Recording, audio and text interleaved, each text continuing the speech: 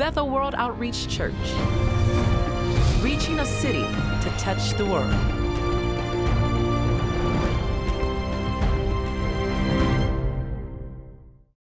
Just to contextualize this message and the three points that I'm going to help anchor you in, go to Psalms 105. It says, Then he sent someone to Egypt ahead of them. It was Joseph, who was sold as a slave. They bruised his feet with fetters and placed his neck in an iron collar. Joseph is therefore not a character unmarked and unstained by the sins and the cruelty of life. You can identify with Joseph in the same way you can identify with Jesus, who was wounded and beaten for our trans, bruised for our iniquities. It was a pit experience, as you see in this first scripture. Verse 19, until the time came to fulfill his dream, the Lord tested Joseph's character. It's not just a plan, I mean, it's not just a pit he was in in slavery. There was a plan. Through every struggle, every challenge, there was a plan God had who could have removed him from chains, who could have taken him out of the pit but instead of removing the chains or taking him out of the pit or the discomfort, God left him in there that his character might be developed by pressure. Verse 20 Then Pharaoh sent for him and set him free. The ruler of the nation opened his prison door. Joseph was put in charge of all the king's household he became ruler over all the king's possessions. He could instruct the king's aides as he pleased and teach the king's advisors. He got promoted. There was a pit, there was a plan, and ultimately there was a palace of promotion. Now, when we're in the pit, we have the opportunity to stay there to stay down in our mind, to get depressed, to give up, cave in, and quit, to say, I cannot take it anymore. I'm through with the marriage. I'm through with my kids. I'm through with the addiction. I'm through with how they treat me. You can stay in any pit you want to because you don't perceive God's got a plan in your pit position.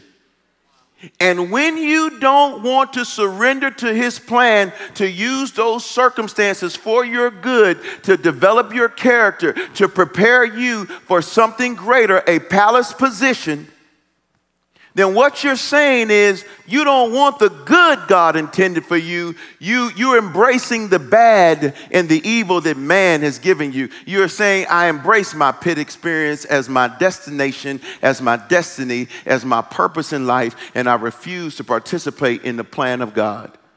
Today, I want you to understand you may be in a pit, but there's a palace awaiting and a promotion awaiting every person in here who comprehends this message.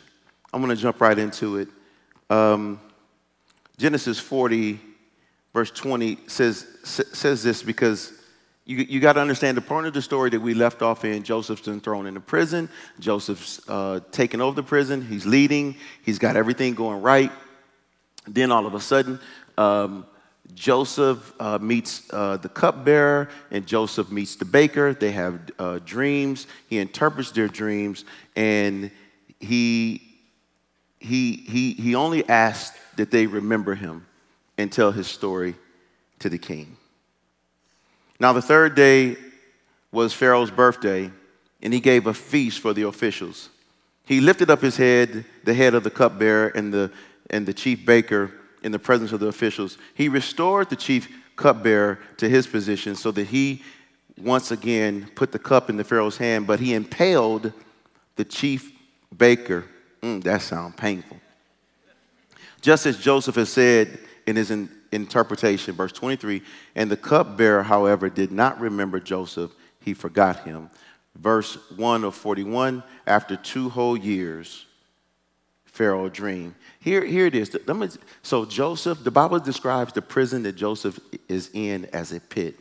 Joseph is maintaining his godly standing and his good character in a challenging circumstance and situation. He does good for criminals. And, and whenever you identify with a criminal back then, you could put your own life in danger. It's best to keep to yourself while you're in the prison, but now Joseph is, is, is, is seen as aiding them. He could have been perceived as being in a conspiracy with him, but he's able to still honor God wherever he is in the, in the negative place. Sometimes when we get in a negative place, maybe slavery or prison, and we feel that it is unjust, we feel like we can rage against what's going on, and we ourselves have a right to be lawless because some lawlessness has got us in this place. When somebody robs you, you feel like you can rob them. When somebody hits you, you feel like you can hit hit them. When somebody yells at you, you feel like you can yell at them. It seems like when you're having problems in the pit, it can justify your bad behavior. The only thing that Joseph asked for in payment for the revelation that he gave about the cupbearer and the baker's dream is that they remember him. That you remember that I'm a Hebrew. That's what he says in the scripture. That my brothers enslaved me. Tell the Pharaoh that uh, I've been unjustly imprisoned because I've been accused. And if you can get to him, because I'm telling you, you're going to see him, you can help me. But the Bible says, after the people he helped, they forgot him. Man, have you ever helped somebody and then they turned around when it was their turn to bless you and they forgot you? You know what you feel about them people? Shade. Just shady. Shady, shady, shady, shady, shady. The only reason you're out, the only reason you're rich, the only reason you got promoted, the only reason you're blessed is because my character held up, my gift held up, and I spoke to you when I was in my pit experience, but you forgot me for two years. It'd be easy if it was a week. It would be easiest for a month. How did you forget that I was the source of your deliverance? I'm in a pit. Have you ever been forgotten? It doesn't feel good. It's a turbulence that happens on the inside of you. When somebody forgets your, when I, you forget my birthday, I'm mad. It's March 14th. Y'all got to deal with that. And I had expectations on my birthday. My wife, in fact, said, It's too many expectations on birthday. I'm going to stop celebrating it. Mm-hmm. The pit. You know, it's easy to think about when we when uh, we were forgotten. But oftentimes we forget people. Who have you forgotten? Who have you left in the pit? Who did you leave undelivered? Oh, Pastor James, my soul is clean. I didn't leave anybody. Mm-hmm. Okay, let's go through some people. You see, you were given a gospel message about Jesus, that you have a responsibility to offer freedom through the, through the work of the king to every person that doesn't have it. Who didn't I leave in the pit? When did my life become about my job? When did it become about my advancement? When did I get so consumed when I was in the pit that it was justifiable for me to be focused on how I'm gonna pull myself up, but not how I'm gonna pull you up? Society thinks that it is okay, and even Christianity thinks it is okay to see the world going to hell as long as they're not going. Who did you and I leave? Who did you leave in lust? Who did you leave in adultery? Who did you leave under condemnation of eternal separation from God because you didn't want to deliver the news, the good news that there's a way? Out of no way available. I'm preaching it to myself because there are times when I'm tired. There's times when I can justify uh, that, that I don't have to do much anymore. Because my own pit experience gives me the right to justify doing absolutely nothing for others. Forgotten. It's messed up to be forgotten. I love Pastor Rice. He's always, Pastor Rice had a motto. He said, if he said, if anybody ever does something good to me, even if later they do something bad, he said, I'll never forget their good. I've watched him for 15 years live by that creed. Because even, you know, a good friend will let you know, you know, they did you shady, you know, watch them. And he's like, that's all right. And he'll go to listing all the things that they did good. What do you remember? The shade? It's, let me just speak to some African Americans for a minute. I, I felt led to say this. Hold on. You know, slavery is real. And the results of slavery are real. But if you live there, you will be guilty of staying in a pit instead of being delivered from one. You, you can't, if Joseph would have had the attitude that I've been unfairly treated, therefore I don't have to participate in society, he would never be prepared. His character wouldn't be ready to lead. It is the glory of kings to overlook an offense. What do we learn in the pit? What character is being developed that I'm not going to point the finger anymore about what you've done. I'm going to point the finger to what he's done. And I'm going to tell you, you need to make an exchange so it can be blotted out. What about going to the person and being a reconciler? Remember, Christ was in God not reconciling or counting men's sins against them. Man, if he would have counted the sins, he wouldn't have worked in his gift. I got to move faster. After this, you see the king having a dream about fat cows, seven fat cows coming out of the Nile and seven frail and ugly cows. They eat the fat cows, but they didn't get fat. And then he has another dream that is similar. And here's what happened. Then, verse 9, then the chief cupbearer said to Pharaoh, after Pharaoh tells the dream to everybody, and all of the magicians and everyone, the wise men could not interpret, then the chief cupbearer, the guy who got released from prison, said to Pharaoh, I remember my offense today. When Pharaoh was angry with his servant and put me and the chief baker in custody in the house of the captain of the guard, we dreamed on that same night he and I, each having a dream with his own interpretation. A young Hebrew was there with us, a servant of the captain of the guard. When he told him, he interpreted our dreams to us, giving an interpretation to each man according to his dream. And and he interpreted to us, and it came about. And I was restored to my office, and the baker was hanged. Here, here's the, the cupbearer saying, When I remember my offense, you know, sometimes we can all get so caught up in our own deliverance that we can forget our assignment. The, the cupbearer, I, I don't know if he was so much doing a wicked thing toward Joseph. He was just so caught up in his own life, he couldn't see somebody else's pain. But when he saw the pit that the Pharaoh was in, he changed. Now you say, well, Pharaoh wasn't in the pit, he was in the palace. He was in the pit because Pharaoh had a dream that he could not ignore. He had a dream that he knew had a divine nature to it. He had a dream that he had to respond to. He had a dream that he knew that, that it, it, it could offset the course of his nation if he didn't discern this right. He's not troubled by every dream. There are some dreams that God give you where you know it, you know it's him. Now, God speaks in dreams, but you know, He don't speak in dreams all the time. So if you're one of them people who having a dream and you think it's prophetic all the time, it's probably not. I'm just telling you.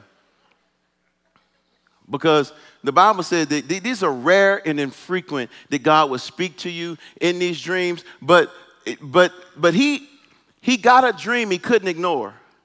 He got a dream that he remember. I, I remember God has spoken to me in dreams before, and you know it's not fun. God God spoke to me in a dream once, and it was a rebuke. He told me to stand up and he listed for me the things that were out of order. And I walked away with a list of things that I had to go through, do, and do differently. You see, I call it being, you can be down and out like Joseph, or you can be up and out like Pharaoh.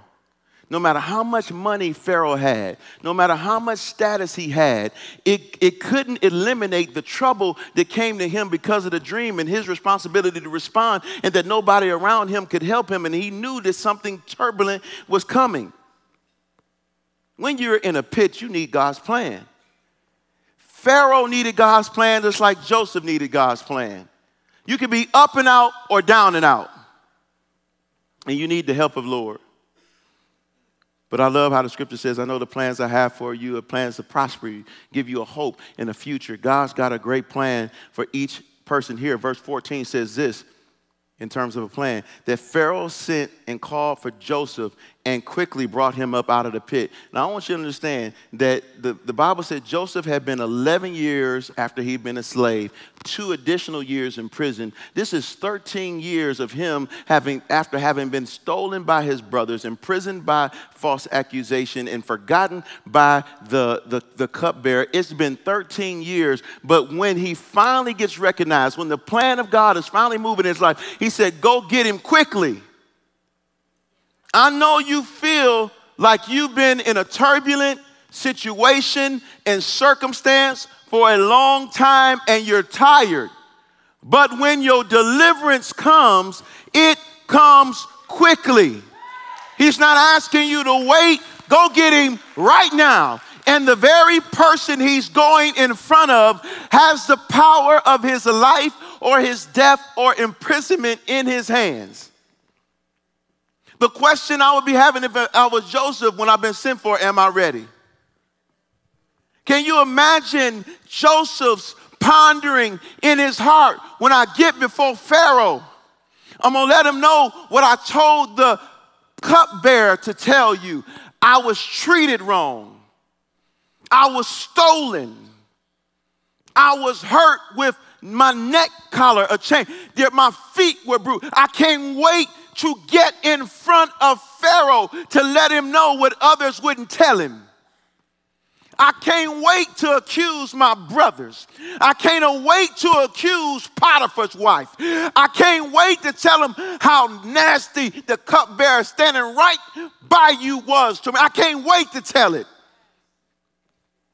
I've been in the pit and I've been devising a plan in my heart, and I can't wait to get it out because when everybody knows how I've been treated, then justice demands that I'm free and they're chained. Because sometimes it's not good enough for you to be free, you want everybody else that hurt you to be punished. Can I get amen on that? Don't let's not come on, because that's my mama used to say, well, but yeah, you, your brother was wrong, but we just gonna give him a break. This, no, mama, whip him. whip him now. Please.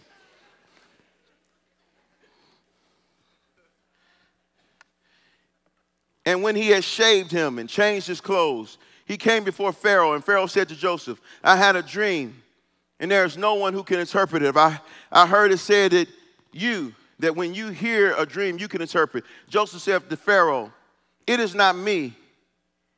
God will give Pharaoh a favorable answer. And Pharaoh said to Joseph, Behold, now, now remember, I just built that up. He had a plan to get before Pharaoh and plead his case. But you can tell that his pit experience has changed his character. For the first time, we see Joseph is not complaining, about what he's went through. All he wanted to do is get in front of Pharaoh. You got to understand, he don't know what's coming next. He didn't know he was going to be called for. The only thing we know in scripture is what was in his heart was to get before Pharaoh to give an accusation and a complaint. He didn't come to deliver ministry. He came to get justice. And when you want justice for you, you can't work for God. You're not you're not the focus of life. I can see a change happening on the inside of Joseph as a result of being in the pit. He finally died to himself. He finally stopped worrying about his dreams and his vision, and all of the stuff didn't come to pass. He started giving that to God. He just starts saying stuff like, For God I live, for God I die. I'm in front of the Pharaoh. He could kill me, he could despise me, he could hurt me, but I'm not going to complain about people.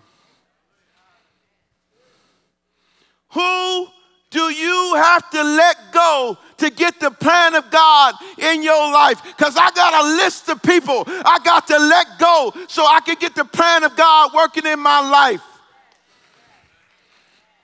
Who was it? Your mama, your boss, a strange society? Are you still mad at the slave master? Who is holding the plan of God up in your life? Get over it. Get over it because if you would see that it's another person in pain, there's another people group in pain that need you to give a message if you would deny yourself the pleasure of justice and leave it in the hands of the just one, oh, you can get victory. And Joseph went on to interpret his dream. Let's skip down to verse 28. It is as I told Pharaoh, God has shown Pharaoh what will happen, what, what's about to happen. Verse 29 there will come seven years of great plenty throughout the land of Egypt, but after there will arise seven years of famine. And all the plenty will be forgotten in the land of Egypt. The famine will consume the land, and the plenty will be unknown in the land by reason of the famine that will follow. For it will be very severe. And the doubling of Pharaoh's dream means that the thing is fixed by God, and God will shortly bring it about.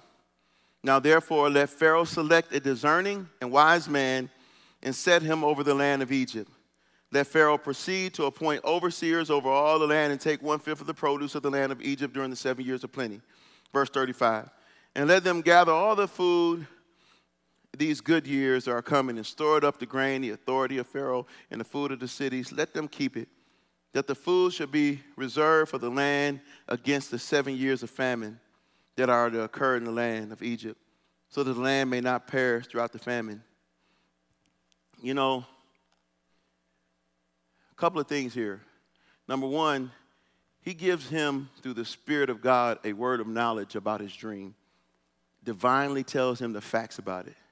But he doesn't stop at a word of knowledge. He now gives him a word of wisdom. What do you do with the information? Oftentimes we leave people only at the revelation of what is wrong or what is going on, and we don't give people the solutions. Well, you know, you're just off. Well, well tell me how to be not off.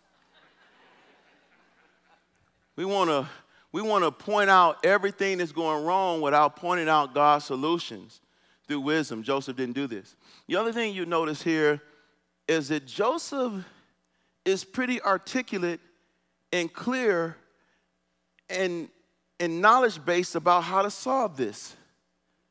But where did he get it from? He was 17 when he was stolen away. He was just faithful counting sheep, faithful in Potiphar's house, faithful in the prison. And now he's developed administrative skills that allow his gift to be at the highest level for the plan of God to be executed in his life. Sometimes when you spend time dealing with your pain instead of dealing with the outcomes that your pain is supposed to produce, if you deal with the pain only, you can just get stuck, undeveloped, underdeveloped. Because you won't move forward because people hurt you. Oh, they, them people nasty. People, you ain't gonna get promoted. Because you can't be despising your boss and talking bad about your boss constantly or about the market or whatever profession you're in. You can't, you can't harbor on the problem and then somehow manifest a solution. You can't do it. Oh, by the way, I want to say personally, this message is ministering to me. because I can't escape the realities of it myself. Nobody's free today. Nobody. I have to get down from here today and live differently.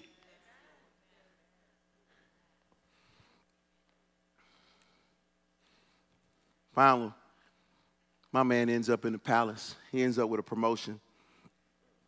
Verse 37. This proposal pleased Pharaoh and all his servants. Just one thing for your gift, just to reach a place, person of leadership. It'd be like uh, you only pleasing uh, President Trump and getting his favor, but Joseph gets the favor of the king and the Congress and the Senate and the judiciary. Everybody heard what he had to say. Said, "We like him. We like him."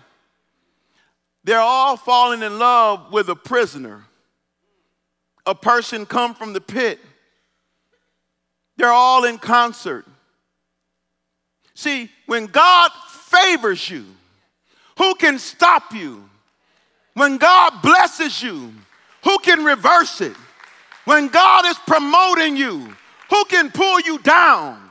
Promotion does not come from the east or the west or the south. God is a judge who sets up one and takes down another. Who can stop you? The plan of God dictates that you rise to the palace. And it won't just be God saying, you know, I like Joseph. People of authority will say, Joseph is the man. Groups will say, Joseph is the man. Why do you think God thinks so little of you to invest gifts or treasure in earthen vessels only to ruin your life? That is a lie from the pit of hell telling you that you've achieved your greatest and you've reached your potential and that your problems can anchor you down. I got to hurry up. Pharaoh said to his servant, Can we find a man like this in whom is the Spirit of God? Then Pharaoh said to Joseph, since God has shown you all this, there's none so discerning and wise as you are. The first time the scripture ever uses the word, the Spirit of God being on someone, is right here. And they're not just seeing Joseph, they're seeing the God that Joseph serves, because when you're full of the Spirit, you can walk in the Spirit and you can face anything that's going on. We were singing a song about being full of the Spirit and we're playing around with that, like, well, maybe I'll get filled. No, no, no. When you and I are full of the Spirit, that's when the favor comes. That's when the blessing comes. That's when the promotion comes. It wasn't just Joseph, he didn't look right. They had to clean him up. They're identifying the Spirit of God on him.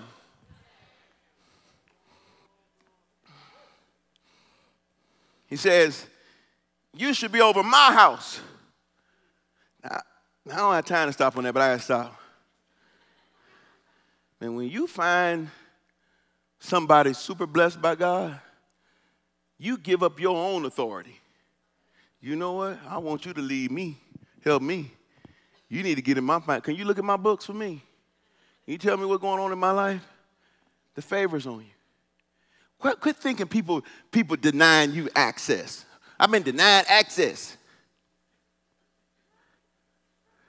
If God be for you, who can be against you? If God opens the door, who closes it? If God opens the window, who can close it? God is with you. None can stand against you. Hey, my God, my God, my God, my God, my God. Stop believing the lie. Come on, I got to, I got to, I got to, I got to finish.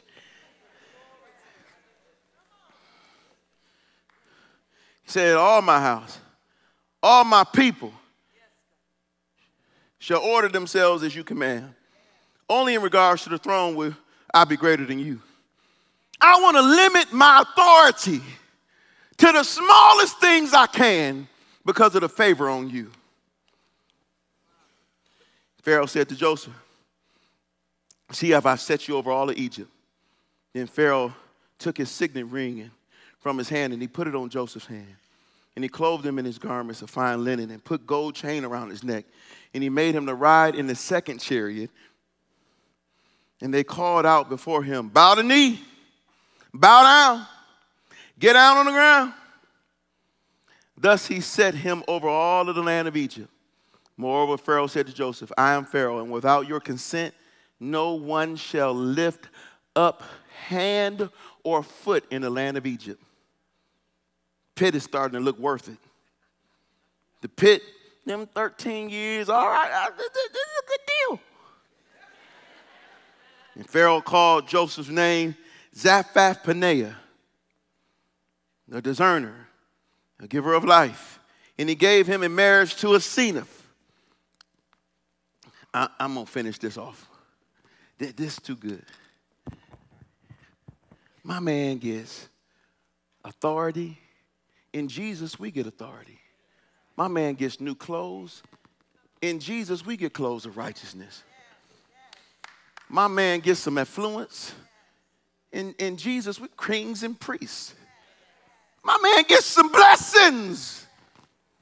In a chariot. This is a modern day limo.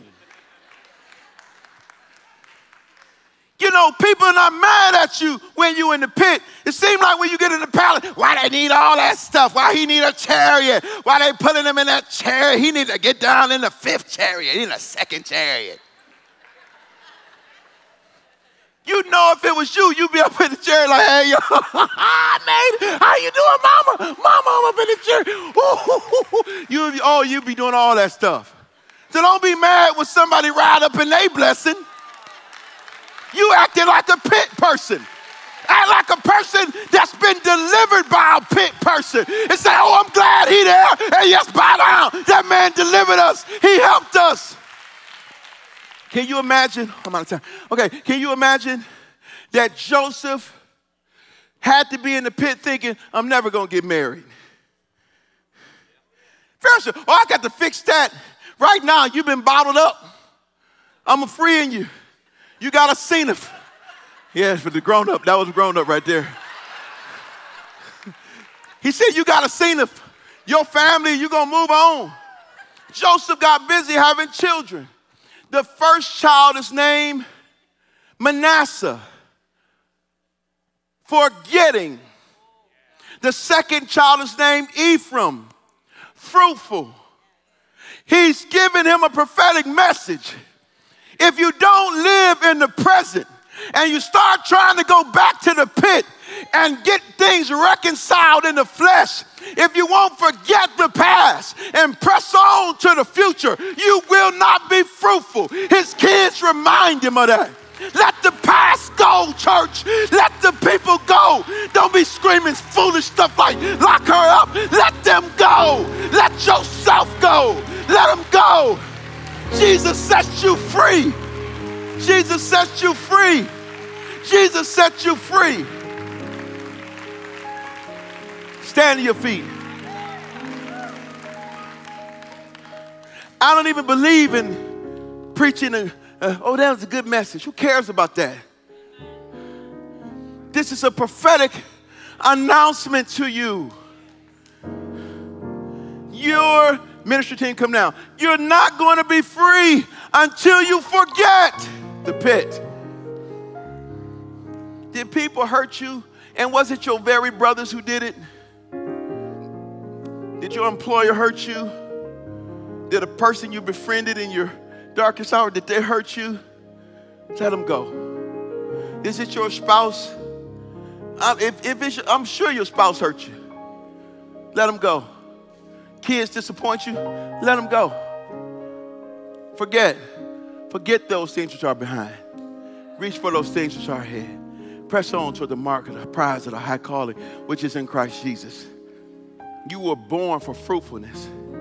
You were born for fruitfulness. There's a deliverance in the room. I feel like it's that kind of deliverance you got to run to. Because when you've been in the pit too long, you get stuck. You get in chains. It's something about saying, I'm breaking free today. I'm running to my freedom. And when you humble yourself like this, God will exalt you. I'm just a few days ahead of you in deliverance uh, because when you teach the word, you have to receive it first. You're just listening to a free man who had to hear the word and get free. I don't know what you got to do to get free today, but you better run to it. Bow your head, close your eyes. If you've watched this message and you want to make Jesus Lord of your life, I've got good news. You can do it right now. I want you to pray with me. Say, Lord Jesus, come into my life for the rest of my life. I acknowledge I am a sinner. I need you, my Savior. I believe you died for me. I believe you were raised from the dead on the third day. And I confess that you are now Lord of my life. If you just prayed that prayer, I have good news for you. You have eternal life. The next step for you is to get in a Bible believing church. We volunteer to be that church. But if not us, we pray God's blessings on you as you search for God's best for you. Thank you. Bethel World Outreach Church, reaching a city to touch the world.